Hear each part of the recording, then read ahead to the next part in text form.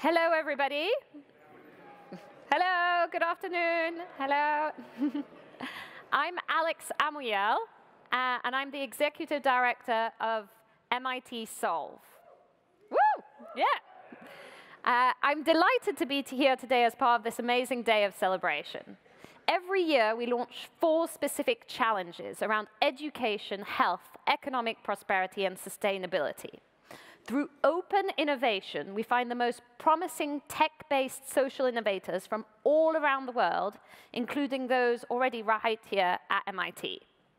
These solver teams use AI, machine learning, and many other technologies to positively improve the lives of thousands and millions already, and hopefully millions more in the future.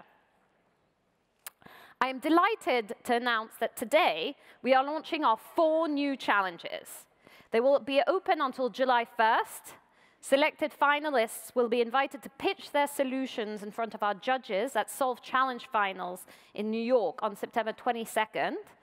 And of those, 32 will be selected as solver teams and will receive support from my team to connect them with a strong community of funders, corporations, experts, peers, and more to help advance their work. There's already $725,000 of funding available so far for this cohort. And over the last two years, Solve has brokered over $7 million of funding for our solver teams. So it's worth applying, but it's really also much more than just funding.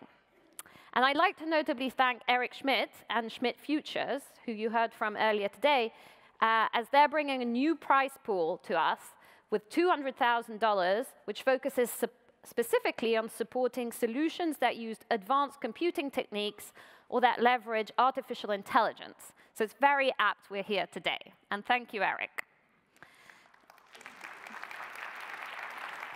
So our four challenges are, number one, early childhood development. How can every child under five develop the critical learning and cognitive skills they need to reach their full potential?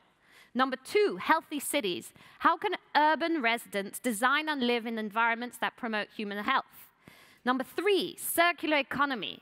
How can people everywhere create and consume goods that are renewable, repairable, reusable, and recyclable?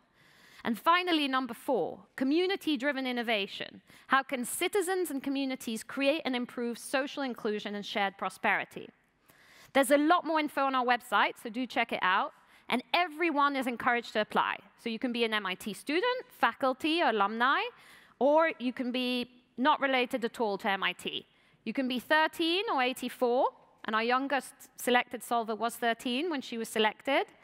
You can be a nonprofit or a for-profit or not registered at all. You can be working in the US or anywhere else around the world. It's about open innovation, and so we're looking for the most promising solutions no matter where they come from. If you have a good solution for one of these challenges, please apply. If you know people with good solutions, please tell them to apply. There are lots of other ways to get involved. Host a Solvathon, come to Solve at MIT, volunteer at events, mentor our Solver teams, join Solve as a member, or bring funding for a prize pool, and do get in touch. We'll, be, we'll only be successful if everybody gets involved, so thank you and happy solving.